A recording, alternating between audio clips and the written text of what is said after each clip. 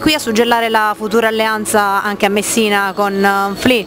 Eh, non futuro, noi siamo il presente, terzo polo è già una realtà in Italia, lo sta diventando anche qui in Sicilia e quindi Messina fa parte della Sicilia mi sembra un fatto scontato. Però in questo momento Messina appoggia una giunta che è con il PDL. Ma per la verità tutti siamo stati eletti in uno scenario diverso da quello che si sta costruendo e costruiremo un progetto politico che quando verranno le elezioni sottoporremo agli elettori. È una soddisfazione però per l'Udc questa nuova posizione di Fini?